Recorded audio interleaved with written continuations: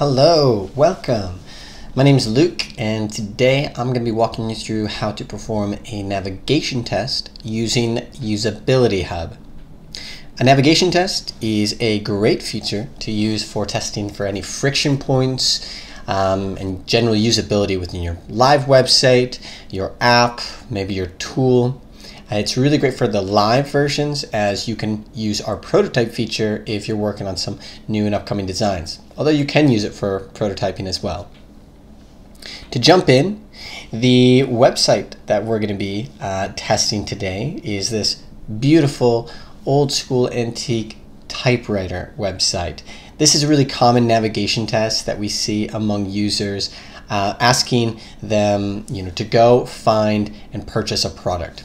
You can test any point of navigation, and I'd encourage you to run um, a good number of these, as you might find that it's maybe not the typical areas of navigation that are difficult, but rather leaving uh, from a shopping cart or going and finding a case study or trying to contact uh, someone for support. But today, and a really great place to start, anyways, is what are some common ways that your users need to navigate through your website?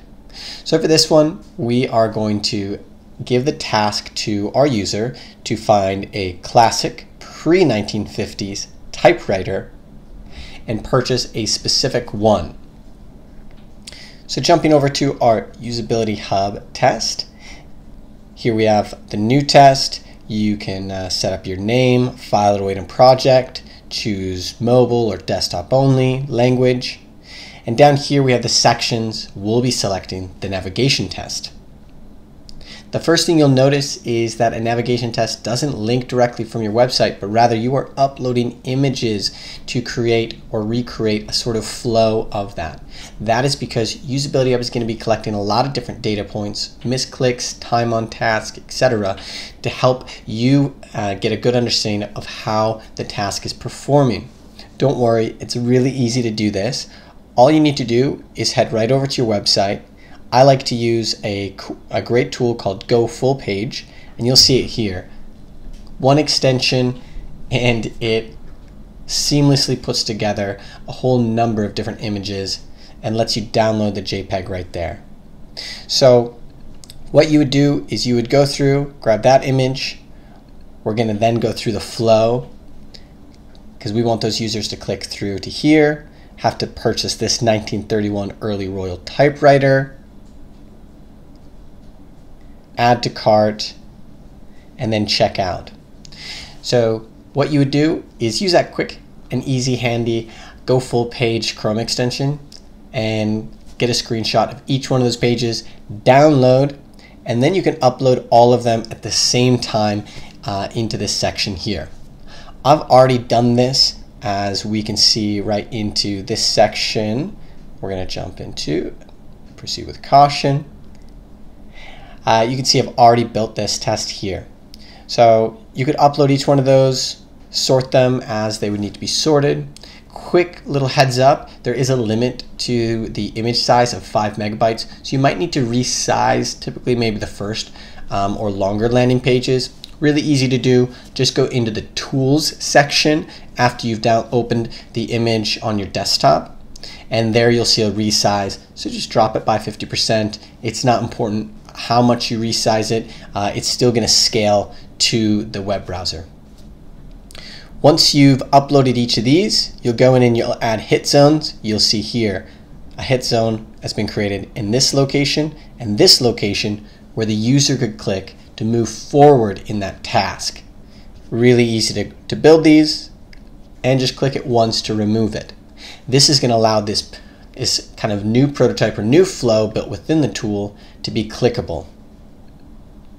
You see we've built one of those into each one of these sections here and then move forward into a follow-up question. We always recommend doing follow-up questions as it's a great way to add get gain additional insight from your users. So in this one, and a really great to, uh, way question to ask for a navigation test is just a scaling question, meaning they'll rate it 1 to 5, 1 to 10, asking them how easy or difficult it was to achieve that task. You can also ask how confident are they that they found the lo right location, um, different versions of that. In all of the Usability Hub tests, uh, you can choose how you want those users to respond. So we're choosing that linear scale. And then lastly, a really great thing to add to the end of your test is asking for open-ended feedback um, for additional comments and insights your users um, or this panel can give you. So in this one, any feedback for this purchase experience. Just generally asking, you know, how the experience was, any thoughts and comments that they have. You're going to find a lot of great stuff when you ask that. From there, you'll save and continue, and this will move you on into the recruit page where you can place an order from our panel of over 500,000 with a number of, a great number of different demographic screeners in there. For this test, since it's a UK website, I targeted just UK individuals, any age range, any income, all of those parameters, but I did want to target people who had a hobby and interest into arts and crafts, blogging, and reading. I feel like those are pretty common ones that you might find with typewriter purchases. So it's going to give us a higher quality, higher quality result um, from individuals who would typically be a part of that customer segment.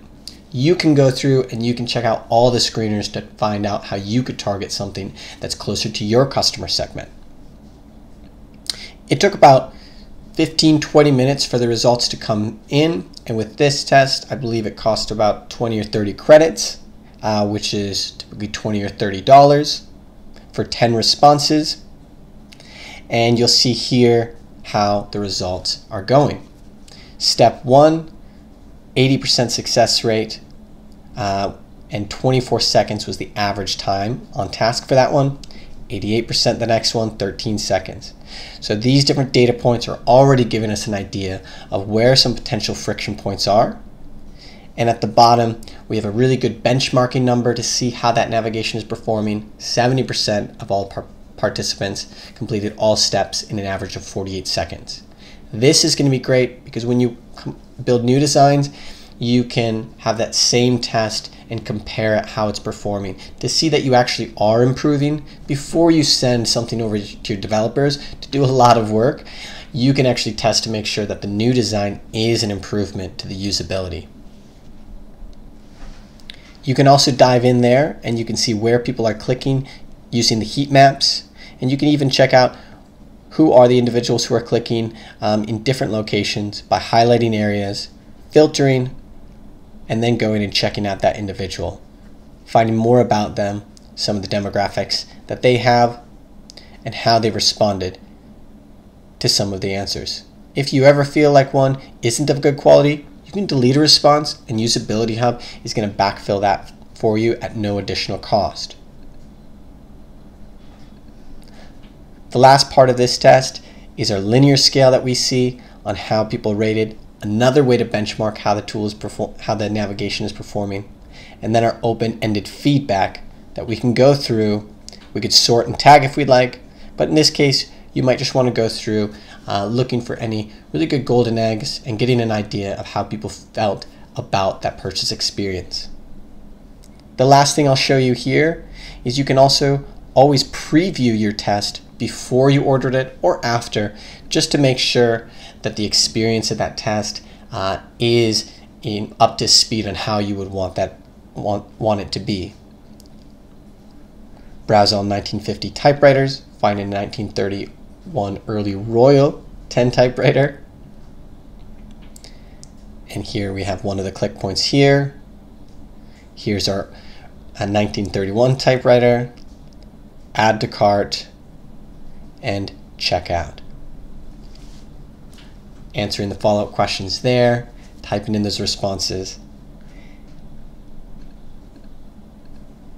And that would be the end of that experience. You can make those tests required or not. It's up to you. All right, that is it for me and this navigation test. I hope this is helpful for you. If you have any tips or ways that you're using this feature, uh, please let me know in the comments below. Thank you.